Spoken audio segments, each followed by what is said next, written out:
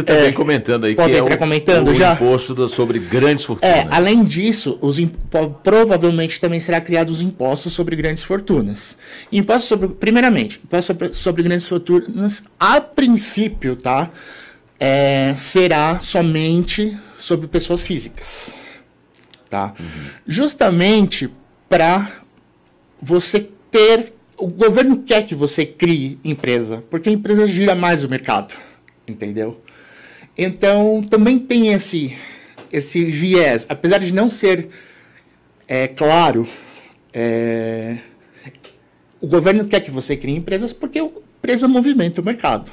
Então, você criando empresas e colocando os imóveis dentro de sistemas de empresas, você escapa desse imposto de grandes fortunas, tá? Porque não vai tá, não vai estar tá mais no seu CPF, vai estar tá no seu CNPJ. Tá